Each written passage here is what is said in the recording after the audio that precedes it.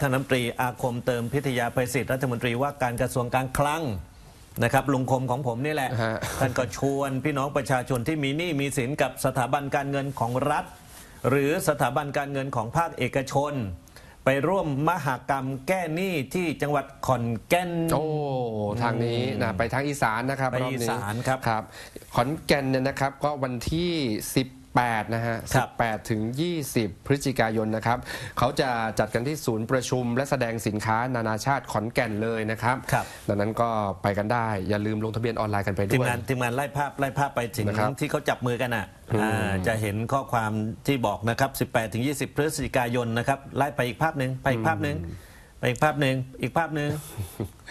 อ่าอ่านี่นี่นี่แหละนี่ฮะเห็นไหมแถบสีเหลืองเนี่ยนะอันนี้คุณผู้ชขอนมแก่น คุณผู้ชมเอามือถือถ่ายหน้าจอเลยผมถ่ายจะไว้ค้างไว้ให้ ครับ มือถือถ่ายหน้าจอนะครับ 18ถึง20 นี่ที่ขอนแก่นศูนย์ประชุม และแสดงสินค้านานาชาติขอนแก่นถูกต้องครับครั้งต่อไปถัดครับละครับบิน อะไรนะครับ ครั้งต่อไป ครั้งต่อไปถัดไปเดือนธันวาคมครับ สำหรับ พี่น้องเจ้าเหนือนะฮะที่เชียงใหม่นะแม่ครับคนใต้พูดเหนือนี่ฟังยังไงยังไงอยู่นะเจ้าเหนือ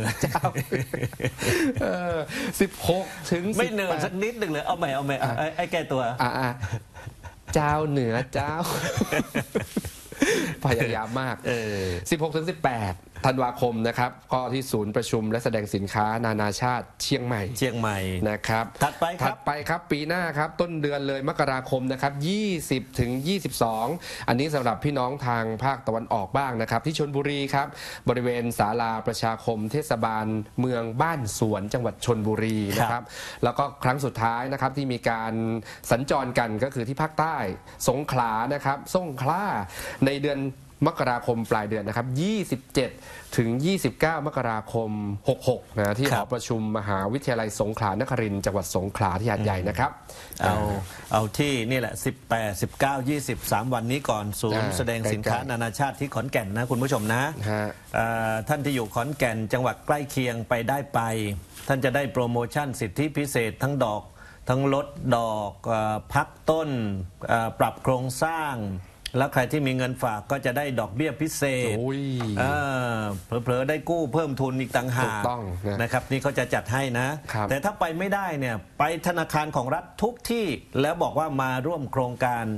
ร่วมใจแก้หนี้ อันนี้ก็ได้ทั่วประเทศนะ ไม่ใช่ว่าต้องรอไปงานนี้แล้วค่อยไปเจรจานะครับไปไปคุยทำกันได้ก่อนเลย ทั่วทุกเอ่อพื้นที่ธนาคารของรัฐทุกแห่ง ครับ นะครับแล้วก็ถ้าเป็นธนาคารของเอกชนหรือธนาคารของรัฐ ท่านสามารถจะแก้หนี้แบบออนไลน์ได้เหมือนกันนะครับ เข้าไปในเว็บไซต์ของธนาคารแห่งประเทศไทย www.bot.or.th นะครับ d e f a i r นี่เข้าไปตรงเนี้ยนะ เข้าไปในเว็บไซต์นี้เลยนะครับ ก็สามารถที่จะลงทะเบียน และภายใน 18 วันเนี่ยทางธนาคารเจ้าหนี้จะติดต่อ ลูกหนี้กลับมาครับเพื่อเจรจาพูดคุยกันในการปรับโครงสร้างในการแก้ไขปัญหาหนี้สิน ถ้า 18 วันแล้วไม่ติดต่อกลับโทรหาแบงค์ชาติครับครับ1 2 1 3 วันเวลาราชการ โทรหาแบงค์ชาติบอกเนี้ยลงทะเบียนไปแล้วเงียบเลยเงียบไม่มีเลยใครฮะติดต่อกลับมาเลยครับ หรือว่าให้ความไม่เป็นธรรมอย่างนี้เป็นต้นนะโทรศัพท์ 1213ครับศูนย์คุ้มครองผู้ใช้บริการทางการเงินอืมนี่เขาเปิดทางด่วนสี่เบอร์แก้หนี้เห็นไหมครับอันนี้ให้เป็นคู่มือเลยนะคุณผู้ชมนะเนี่ย ภาพที่ขึ้นเนี่ยให้เป็นคู่มือเลยว่าถ้ามีปัญหาเรื่องหนี้เรื่องสินในระบบเนี่ยนะครับ ติดต่อ 1213 ขอความช่วยเหลือขอคำแนะนำหรือเข้าไปใน Facebook เขาก็ได้ครับเขามี Facebook เฟซบุ๊กด้วยชื่อสคงสสลาคอควายงองูเนี่ยนะท่านแอดเป็นเพื่อนไว้เลย แล้วกดติดตามไว้เขามีข้อมูลดีๆเนี่ยนะครับเขาจะแนะนำให้ว่าใช่ เออเราควรจะทำอย่างไร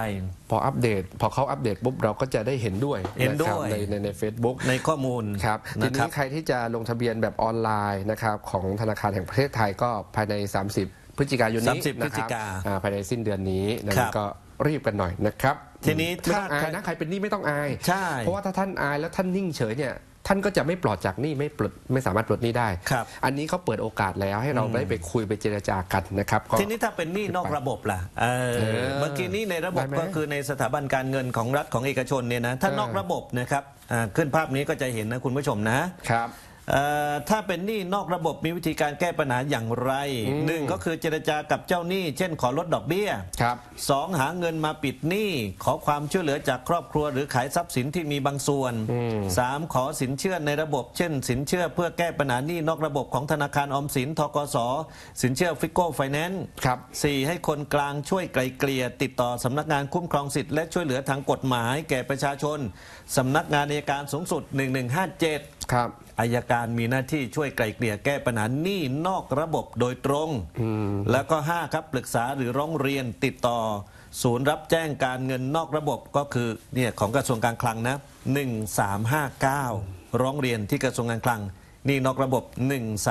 1359 นี่ก็เป็นอีกหนึ่งช่องทาง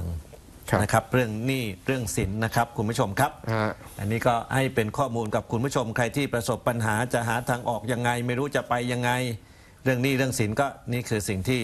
ขอแนะนำไว้เป็นการเบื้องต้นก่อนครับน้องบินครับ